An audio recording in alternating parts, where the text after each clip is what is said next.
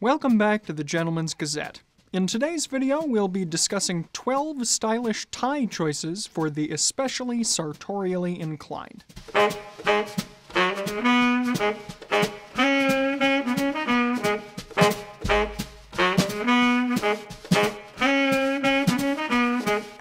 Locked down the first five ties a gentleman should own, and then moved on to the 12 essential ties we recommend to round out any menswear wardrobe, you might be looking for something even more indulgent to really add some spice to your tie selection.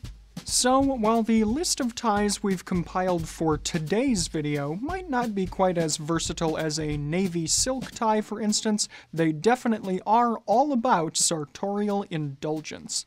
Essentially, these ties will make it clear to others that you're really putting in the extra effort to stand out and be your own person when it comes to your style choices. Indeed, this extra level of expression can be what separates a very good outfit from a truly exceptional one. Before we go any further, though, we should specify what constitutes an advanced tie.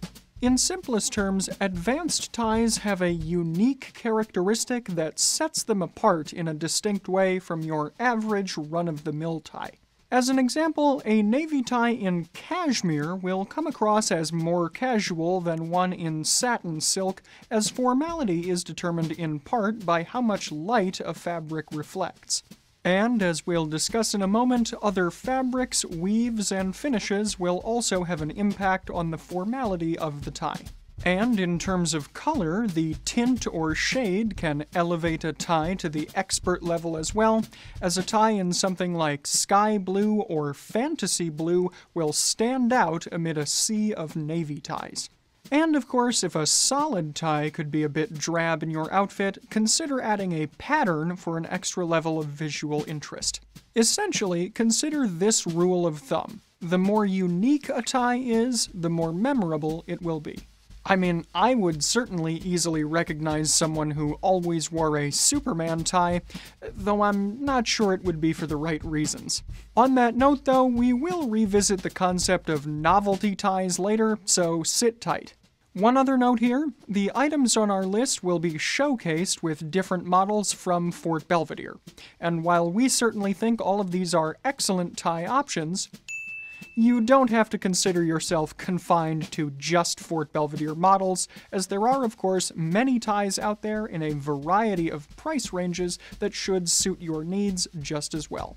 Finally, here, it is worth noting that as these ties are advanced and indulgent, they're not strictly necessary, so you shouldn't feel as though your wardrobe is incomplete if you don't have them. But if you're anything like Raphael and feel like you could never have too many ties, then today's list is for you. So, we've broken up our picks today into three main categories, and the first category is ties that are differentiated by their fabrics and weaves. So, for our first tie on the list today, we're going with a knit tie in a solid, bold color. If you're looking to stand out without an over reliance on wild colors or crazy patterns, unique textures are going to be the best way to do so. And if you do want to incorporate a bolder color into your outfit, doing so will be easier if you use a solid colored piece. Put these two ideas together then, and you've got our first pick a solid knit tie in a bold color. Take, for example, this tie in malachite green. The unique texture certainly makes the tie pop, but its more relaxed nature allows this tie to be worked into outfits at varying levels of formality. Essentially, you can either dress up or dress down the overall outfit and still incorporate a tie like this. And you can learn more about this effect with knit ties specifically by going here. And the texture of a knit tie can be shown off even more with our number two pick today, a mottled knit tie. A knit tie with a slight variance in color, like this orange-red Cri de la Soie tie, will really show off the unique texture of the knit. Combine this with our tips from tie number one, and you really get the best of both worlds while still standing out. And of course, you can take the look even further by pairing the orange and red tones in this tie with other accessories like a pocket square or with orange and red tones in your jacket. You could also use the tie to harmonize with brown or other earth tones in your jacket or trousers. Orange, of course, is complementary to blue on the color wheel, so wearing a blue suit could also be a good choice. And if you wanted to be even more bold, something like a pink or lavender shirt could be a good choice. In our previous 12 essential ties video, we recommended a tie in shantung silk. And today we'll recommend a different silk weave, Bourette silk, for a slightly different character. Bourette silk then is our number 3 pick today, and it has a bolder, weightier texture than shantung. And when using a matte finish and a more sedate color palette, like this navy and beige houndstooth tie, you can really ground an outfit while allowing other elements, like a sweater for instance, to shine. On the subject of texture, if you want a tie that's got a soft and lively texture to it, you can go with our number 4 pick, which is a cashmere tie. Keep in mind, though, that with cashmere in particular, you really do get what you pay for. Because cheap cashmere pills quickly, becomes unpleasantly slubby, and can wear out, it's just that cheap. And of course, nothing breaks our hearts more than pilled cashmere. Such a shame. Avoiding this fate with a quality cashmere, then, will make a cashmere tie a true investment piece. Therefore, in order to ensure a maximum return on your investment in the cost per wear department, you'll want to consider a cashmere tie in solids or more sedate patterns. Stripes are particularly nice for bringing in multiple colors to give you the largest amount of pairing opportunities. You can also look at cashmere blends if you'd like that cashmere softness without breaking the bank. I'm personally a big fan of Fort Belvedere's cashmere wool grenadine tie in gray, navy, and purple, and it's the one I'm wearing today. This one comes from my own personal closet. It's pleasantly soft to the touch, and its color palette is extremely versatile, which means I can pair it with a wide variety of outfits. This is also helped by the grenadine weave, which follows similar conceptual lines to the knit ties we discussed earlier. By the way, to learn more about why blue and gray in particular make such a superb pair, you can find our video on that subject here. This brings us on to our second main category for today, ties differentiated by color. Color, of course, is one of the most immediate ways to make your outfit stand out. The key on how to do this without looking gaudy, though, is to also focus on another element like the texture of the tie. A quality tie will have a texture that brings life and weight to it, and as a counterexample, you can think of those cheap, shiny ties that you'll see at tuxedo rental shops. These have a texture that is somehow too limp and too stiff at the same time, and when combined with their bold neon electric colors, they're the easiest way to get people asking if you've just come from a wedding, or worse, a high school prom. So, keeping a quality texture in mind, let's turn our main focus back to colors and look at our number 5 pick today, which is an ivory grenadine tie. Because it isn't pure bright white, this choice is a bit unexpected, and it can work equally well for both warm and cold weather ensembles. The grenadine weave gives it the breathability and breezy feel that makes it work well with summer attire, and its off-white color means that it works well as a winter white as well. Though it can be difficult to beat Tom Wolfe's signature whiteout look. And contrary to what you might assume at first, off-white ties can be worn in a way that is actually understated. With pastel colored shirts, for instance, they provide enough contrast to stand out and frame your face well, similarly to how a tie that doesn't have too bold a color can pair well with a white shirt. And of course, if you're feeling adventurous, you can experiment with pairing an off white tie with darker colored shirts, but be aware that this is a look that has historically been associated with gangsters. Another often overlooked option is an orange tie, which is our number 6 pick today. Being a bold, warm color, many men who don't consider themselves menswear experts can be intimidated by wearing orange and think it's difficult to incorporate well into outfits. Personally, I think we might be able to blame Dumb and Dumber for this. Yes! However, orange is a surprisingly versatile color that works especially well in the summer and the autumn. For example, take a look at how suave Raphael looks here in a burnt orange jacket. If you'd like to learn more about why orange is such an underrated color, we've produced a video on the topic here, but if you want to ease yourself into orange, a great way to do so is through your accessories, like your tie. An orange tie works extremely well with blues, grays, and browns, making it a prime candidate to pair with all of your base menswear colors in things like suits, sport coats, and odd trousers. Another underrated choice that will brighten any outfit is the number 7 pick today, the yellow tie.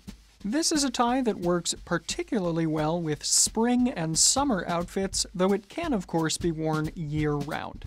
It's easiest to pair as a solid, and it can stand out further with unique weaves, similarly to what we were discussing before. A knit tie or something in wool challis or even madder silk will bring additional interest. Of course, you can also consider pattern ties that incorporate yellow as well. Common supporting colors for yellow include red, blue, and dark green, though it goes especially well with blue as it is a nearly complementary color. And similarly to orange, it also goes well with gray and brown. For a rich color that can be worn with anything from business suits to more casual ensembles, consider the number 8 pick on our list, the purple tie. Purple plays well with green, orange, blue, and red, and patterns can be in either a complementary or analogous color scheme.